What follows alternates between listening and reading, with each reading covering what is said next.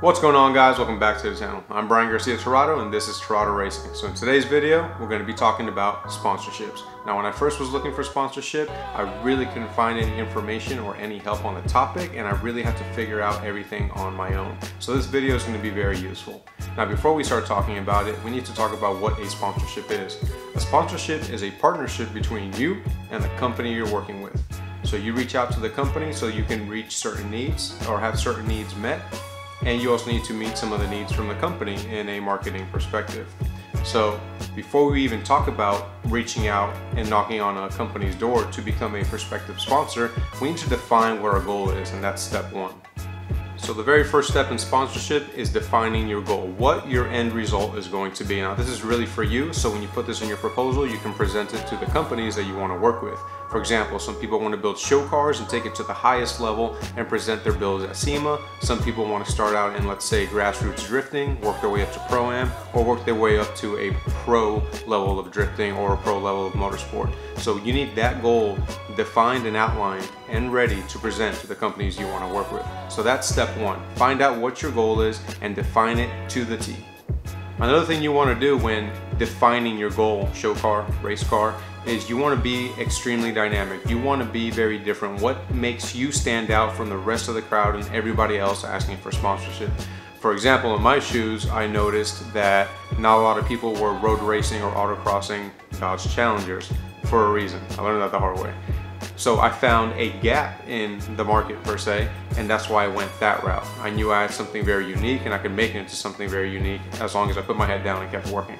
And that's what made me stand out amongst the rest. A lot of Mopars, no offense to anybody, are usually show cars or they're drag cars, but they're never road racing or autocross. So find what makes you unique and make sure you highlight that and point it out to the companies you want to work with.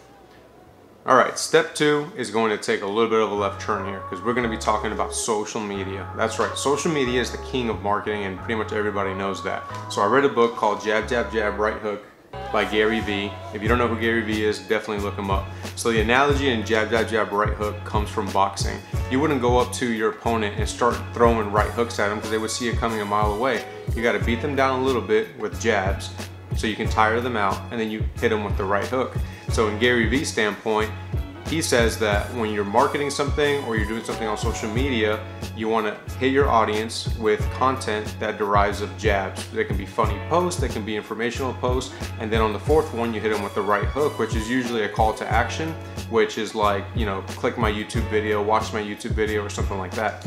So I took that idea and I twisted it a little bit and used it for my social media. What I would do is I would find three companies that I wanted to work with and then for the next three months I would tag them in all my social media posts. Now the reason why I did that is so when I would do the right hook, which is asking for the sponsorship, they can look back at my social media outlets, see the content that I create, good photos, good grammar, and they can see that I have what it takes to market their product in a positive and a professional manner.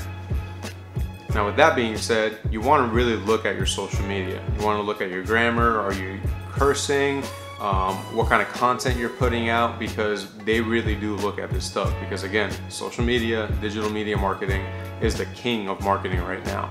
So do yourself a favor and before you even start, sift through your social media, do a self audit and clean up anything that you think would paint you in a bad light.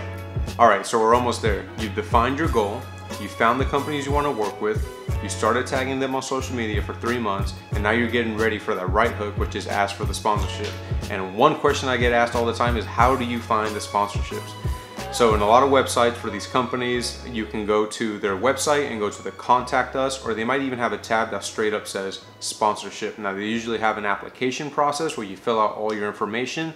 And in that application process, you will always see that they ask for your social media outlets. It's very important because they want to look at your reach. How many unique eyeballs can your account get on their product? Again, return on investment, ROI, that's what companies are looking for. But at the same time, they're gonna audit your social media, just like I told you to do before you even get to this point. So it is very important that your social media is up to par, it is clean, and it is very dynamic. So you got the three companies you wanna work with, you found their website, you found their sponsorship um, tab on our website or under their contact us and you start filling it out and then there's usually a little link where it says you can attach your sponsorship proposal. Yes, this is extremely important, your sponsorship proposal. Now you can do what some other YouTubers have spoken about, you can do what you call a slide deck. Now in your slide deck, and I can break this down in another video more in depth, will be your about me, uh, an introduction to yourself, what you're doing, what events you're going to for the entire year, what race events, what uh, car shows you're going to be featuring your ride and their products in, and all your social media analytics and stuff like that. To create your sponsorship proposal, you can use some software such as PowerPoint presentation. I personally use a website called Canva and I use the paid version to create high print, colorful PDF presentations, but they do have a free version. The paid version has a lot more uh, cool things you can do with it, but the free version will get you pretty far as well. Again, it is extremely important to outline your entire year in your sponsorship proposal. So every car show you want to go to that your car is going to be featured at, or every race event that you're going to do for the year. For example, some people who race, they'll do an entire year of Gridlife time attack. Some grassroots drifters will do an entire season or an entire year of drifting, and so on and so forth. Another thing to add in your sponsorship proposal is any other sponsors you're working with or in the website that will also ask if you're working with any other sponsors and to list those companies down as well. And I put an entire list of everything done to my car. It shows commitment, it shows that you've got a lot of time and a lot of money into your build. Uh, one company asked me how long I've been building the car. Again, it shows commitment to what it is you're doing and what it is that you're trying to achieve. So that shows the company like, is it worth their time and their effort and their money to invest into you if you're not as invested in what you're trying to do? So very important. Um, if you're just starting out, again, you can just stick to your end goal. It being like you're trying to reach a SEMA quality build or you're trying to reach, you know, a certain level of motorsport. All right guys, so let's recap. The first step is to define your goal and find out what makes you unique compared to everybody else in the industry. Your next step is your social media strategy, which is gonna be your jab, jab, jab, right hook. The next step is finding those companies online Next step is doing your proposal and finally applying for the sponsorship and waiting to hear back. Another important thing to note is that if you're expecting just 100% free parts and sponsorship from the get-go, it's not going to happen. Uh, I myself have had to work very hard in order to get the sponsorship that I do have and it still costs me money. Now I can't disclose what kind of sponsorship I receive, but a good rule of thumb, and this is something that I've always done, is I save up the entire amount of money for the part that I'm trying to purchase. I know, right? And then I apply for the sponsorship. Sometimes it might be like 10% and it can go all the way up, right? So any amount helps. Uh, a good friend of mine told me that a long time ago and he said just apply, any amount helps in the long run and he was absolutely right. So if you do go for the sponsorship and you do get approved, nine times out of 10, it's not gonna be 100% free parts. So if it's not free, it's still gonna cost you a portion. It's gonna be at a discounted rate, which is better than nothing. But again, as long as you have that money set to the side, you can go ahead and get that sponsorship price.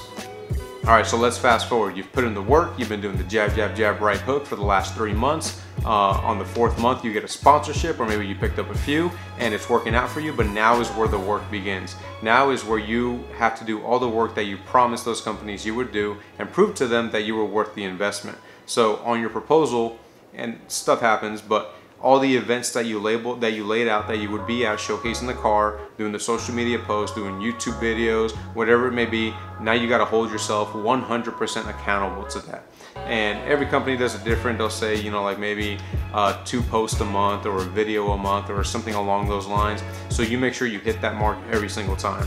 So now that you're sponsored my best piece of advice is to put in the work and give 110% that means always hit your mark. If they want two posts a month, you do six posts a month. If they want one video a month, you do three videos a month. And that just shows that you're committed and you're invested just as much as they are. And of course, they're happy, you're happy, and then everybody's happy. And in the future, if you want to work with them again and they see that you put in the work and you and you uh, stay true to your word, they might want to work with you again in the future. So again, uh, the energy that you put in, it won't be a waste. And my last great piece of advice that was given to me by another driver is to stay in contact with your sponsors. If you don't know what they need, how do you know what you can give them, right? So communication is key. I like to send maybe an email every uh, about every month and see if there's anything that they want a written review, if they want different style of photographs, if they want different style of video. Um, that way their needs continue to be met. Alright guys, so that's pretty much what I have for uh, today's sponsorship video. Uh, you know, put your head down, put in the work, create your sponsorship proposal, outline what it is you want to accomplish, and good things will come. Now, it is gonna take work, but it's totally worth it. And if you get told no, or if you get denied sponsorship, you know, don't let that discourage you. Keep putting in the work. I got told no by one company, I think three times, and the fourth time for me was the charm. So, you know, just persistence is key. Um, the handful of yeses that I've gotten have been, you know, totally worth it because uh, I've been putting in the work and I've gotten countless no's, but it hasn't discouraged me because at the end of the day, you've really got nothing to lose and everything to gain. And you get the experience of working hand in hand with companies on a new level, you know, so the whole experience as a whole is really good. Alright guys, so that's it for today's video. If you have any questions, leave them in the comments below and I will answer them or feel free to DM me on Instagram at Tirado Racing. I always answer all the questions. And if you guys like these videos, hit that like button, leave a comment below. And if you love these videos, hit that subscribe button. Until next time guys, peace out.